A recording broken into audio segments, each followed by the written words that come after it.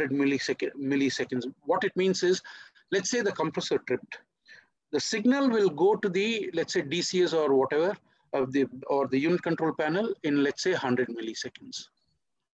Milliseconds. Then again from the anti-surge controller, by the time it sends the signal telling the anti-surge valve to open, it can take another 100 milliseconds.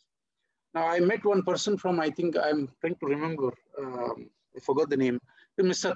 Thakur, I think, Thakur or Thakur, I forgot his name, on mm -hmm. your uh, session Manoj Thakur. Manoj Thakur. He was telling me that the instrumentation they have, the scan time was even 10 seconds. Mm -hmm. So by the time the signal goes here and again reaches to this, it should be less than 100 milli, milliseconds. So if, let's say if the valve is about, let's say 12 inch or 14 inch and it opens in two seconds. So in your simulation, you have to enter it as total time is two plus 0.1 plus 0.1. Uh, that is 2.2 seconds mm -hmm. when you model it. So the actual op actuator opening, the signal, the response time should be uh, less than 100 meters, 100 milliseconds.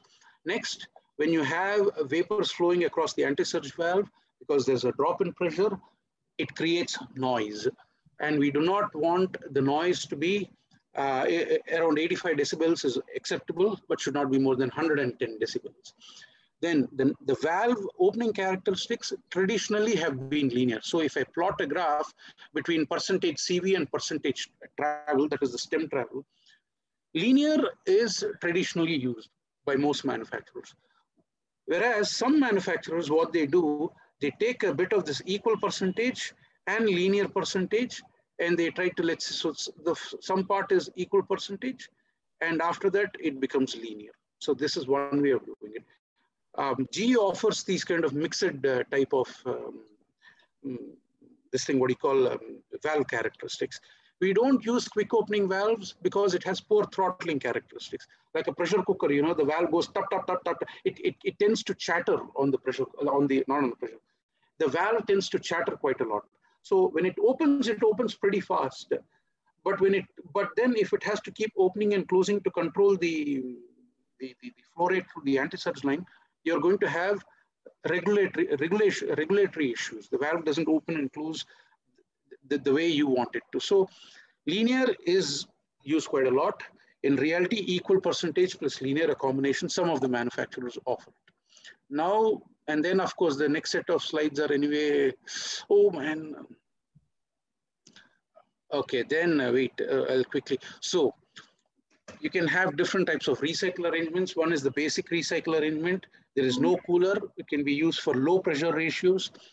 The second one is the standard that what I've been showing above. You have a suction scrubber, a discharge cooler. Anti-surge takeoff has to be before this final check valve back to the suction. The difference between this and this is that you can cool the gas, it, but you have to have additional piping. Cost goes up because of the cooler. In this case, pre-cooling and post-cooling, you can put you can put um, you can put um, a cooler in the suction also. But by putting a cooler on the suction, what happens is you're cooling the gas. If you cool the gas, the amount of power required to uh, so let's say you have a gas compressor where the motor is already, it's already there. Then for some reason you're not able to change the parameters, then what you can do is you can cool the gas before compressing it. So that way you don't have to, you don't have to, um, what do you call the, the, the, the driver would be sufficient to, to, to, to cater to the process requirements. So if you have gas which is entering at 30 degrees Celsius, then what you can do is you can put a cooler here and try to reduce it to let's say 20 or 25, depending on the phase envelope, as long as there is no condensation. And you can uh, operate the, the, uh, the, the, the, gas compressor. But there's a problem. You, because of this, uh, because you have one more cooler apart from this one, it is going to cost you more. Let's say I took off the anti-surge takeoff point from here. Then what happens is you're increasing the discharge side volume. So your, and if your anti-surge controller is not it's too sluggish to, to, to, to transport all this volume back to the suction, then it's a problem again. So we shift it closer. We shift it closer to the, to the um, suction side by putting a cooler. But the advantage with this method is that you can achieve 100% recycle. Whereas in this method, if you recycle, what happens is this, this with every recycle, uh, with every cycle, what happens is the temperature will go on increasing. And you will, in reality, you will have uh, TAHH, an alarm, high, high uh, temperature alarm. So when the high, high TAHH is breached, what happens is that the compressor will trip. So this method, you can recycle only for some time. In this method, again, it's the same problem. But if you put it here and you have uh, uh, an anti-surge control that is sufficient to withstand, provided this, this, this line after the cooler to here, you can go on recycling for much longer. Then you can, can also have a cooler recycle loop. There's no, I mean, that, that is the same as this. These two are similar, except that you're putting a cooler on the recycle line. With this, you can recycle it a little longer than this, but it'll cost more because of an additional cooler. Then you have the hot gas arrangement, the regular uh, cold recycle line, and then you have a hot recycle line. The hot recycle line, it is a better option to put it before the suction scrubber, not like, not like this. Not like this, because this is what I have shown in, in, in, in, those slides.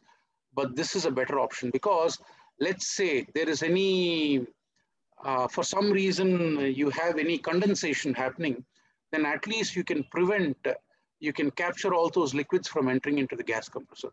A liquid at very high velocities inside a gas compressor behaves like a solid and it can erode the metal plate. We don't want that to happen. Then the other way you can do it is parallel arrangement. So this is an ASV. The first one is an ASV, whereas this is a quick opening valve.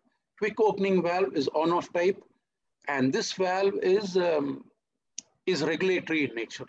So you can have good modulation during this thing because, because the quick opening valve is opening so fast, at least you will be able to quickly, uh, relatively, in a quicker, in a relatively to, quickly you can move the operating point away from the line. But then you also have series. So if you have two compressors in series uh, and one compressor is uh, small, the other one is larger. For the larger one, you put its own dedicated um, recycle loop and then put an overall equalization uh, an overall an, an overall recycle loop. Now let's say both the gas compressors are um, of equal size, then what you do is you put their own dedicated uh, recycle loops and an overall recycle loop. You can do that. Now there is the point is there is no um, specific thing. This is the best or that is the best. It's not like that.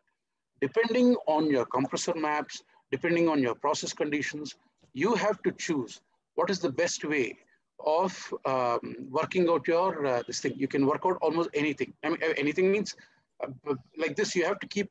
You have to understand which is the best um, arrangement for a given application. And for that, it depends on the performance curves as well as the um, process conditions that are at hand. Saji, we'll move to the to the yes. HYSYS. Okay. So um, to recap, yeah.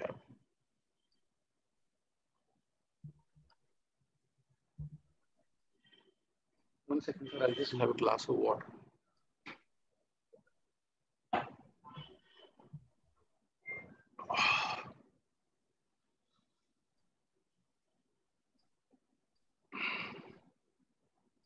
All right, so this is your file. Yeah, middle, middle of it.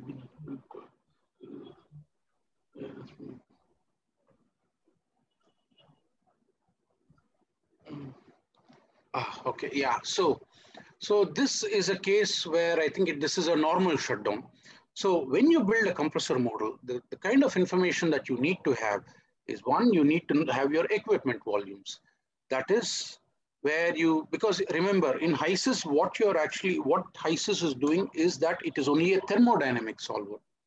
It is only interested in the volumes. You can put pipes and which it will do the hydraulics. But for the dynamic simulation analysis, it's the volumes which really matter finally. So when you give your diameter height, when you do your equipment sizing, line sizing and all that, the value that is actually going into the simulation is this, the volume. So in this case, it's 28.67 meter cube. That, that, that, that's, um, it's that, so that in this case, it's the volume.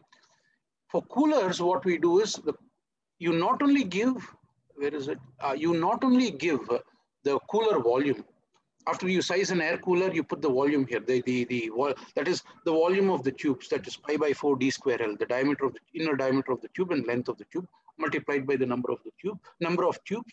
You can put that volume here. But you must also give what is called a K value. K means is a loss coefficient. It is basically the dynamic head, uh, kV square by 2G value. kV square by 2G, if you convert it to mass flow rate terms, kV, ah, mass flow rate terms, it is nothing but mass, mass flow rate divided by square root of pressure drop into density. What does this mean? What this means is that in steady state, when you are doing a steady state, you are giving the pressure drop. So let's say cooler has 0.5 bar pressure drop. In HYSYS steady state, you will open the cooler and you will say